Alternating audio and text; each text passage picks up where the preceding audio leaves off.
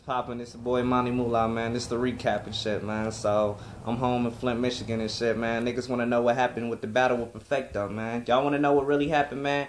I killed the nigga, man. I killed the nigga. You choked in front of your own friends and family, my nigga. I couldn't have made the battle any easier for you, my nigga. You was in front of your people, your comfort zone, your battle league, all your shit, my nigga. And I still fucking made you look stupid, nigga. Cause that's all battling is at the end of the day. It ain't this round one, round two, round three. No, it's about who looks stupid at the end. Who look like they ain't cut for this at the end. And at the end, you look like you wasn't cut for this, my nigga. You look like you was out of your comfort zone. You gave up, my nigga. You gave up because you couldn't think of no bars. You had no bars left. I battled you till you was out of fucking bars, nigga. And y'all trying to get this nigga to win?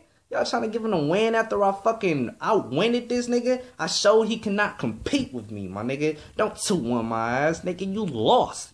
You lost clearly, nigga. I won first clearly. Nigga, fucking, I don't care what niggas say. I fucking won the second round too. And I definitely won the third round. It was a 3-0, my nigga. You had the most low-key body bag of the night. And I can't wait till niggas see that shit on cam for they can really hear what the fuck I was saying. Only thing I give you is your projection was better. You wanna know why your projection was better? I got off a fucking plane that day, my nigga. A 8-hour flight because I missed my previous flight because of some bullshit. But I didn't want to flake because I kept my promise. I'm a solid nigga, my nigga. I kept my promise saying I wasn't gonna flake on you, man.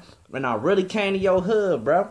Really came to your hood and beat you, my nigga. You easily lost. You easily lost. I got a 15 second clip of you, man. And people already know how the fucking battle went. And you got the nerve to say you beat me, nigga? You ain't beat